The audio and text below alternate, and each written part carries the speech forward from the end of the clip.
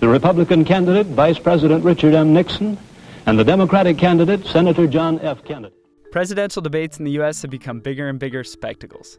Reagan's presidential plane as our backdrop. But a smaller share of Americans are actually watching them compared to the 70s and 80s. That may be partly because the debate format is not nearly as useful as it could be. It does more to create news than give voters information. While the Donald sniffed, Hillary shimmied. Woo, okay. Without having to confront one another on the issues, candidates can focus more on landing zingers. Senator, you're no Jack Kennedy. And less on explaining their positions. 2002. That is a mainstream media nonsense put out by her. Kathleen Hall Jamieson and a bipartisan group of former campaign advisors are trying to fix that. Their first recommendation is ditch the live audience. He referred to my hands. If they're small, something else must be small. I guarantee you there's no problem. I guarantee you. All right. Okay. Do you hear the audience? Now listen to how it plays without them. If they're small, something else must be small. I guarantee you there's no problem. I guarantee. Three weeks ago, you said, quote, the audience at home is being cued by the audience in the studio, and it's not being consciously cued. It has no control over that. I am not going to exploit for political purposes my opponent's youth and inexperience. Like a sitcom laugh track, researchers have shown that an audience reaction can influence voters at home. My opponent's youth and inexperience. When the applause is removed, Reagan's performance rating drops. There's just too great a risk that there's going to be an outbreak of applause or jeering or cheering that provides enough of a cueing to enough of an electorate to swing a close election. The Kennedy Nixon debates didn't have any live audience. Those were terrific debates. Since Nixon Kennedy, the moderator at every single presidential debate has been a network journalist. They're the ones asking the questions, except in town hall debates where the audience participates.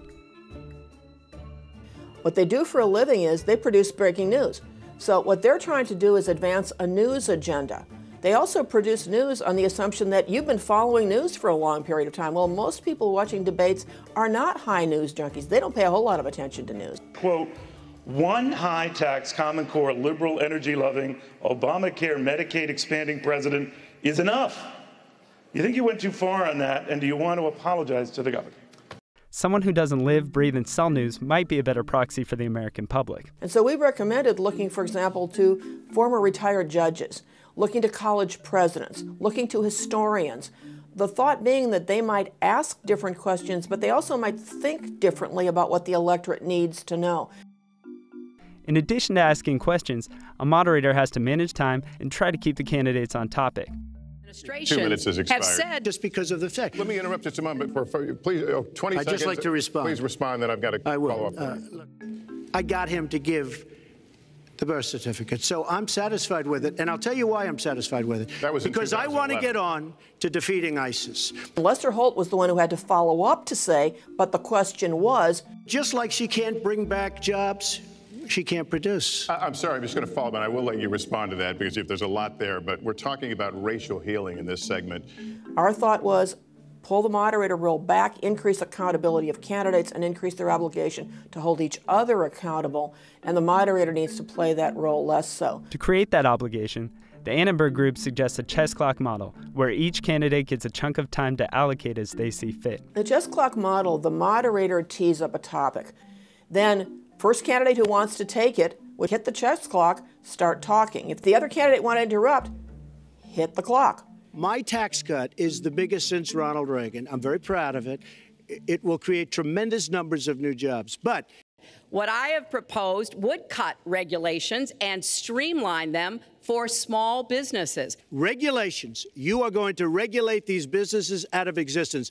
What I have proposed would be paid for by raising taxes on the wealthy because they have made all the gains in the economy. You want to increase the regulations and make them even worse.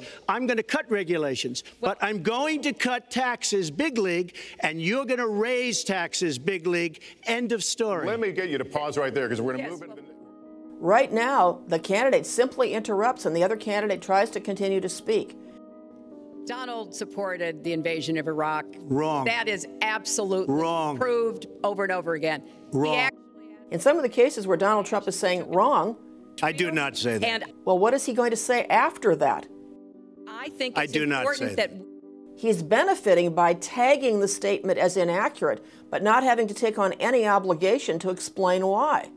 In the chess clock model, interruptions carry the burden to continue speaking, which might mean fewer one liners, more staying on topic, and as a result, we might have a better idea of what they would do as president.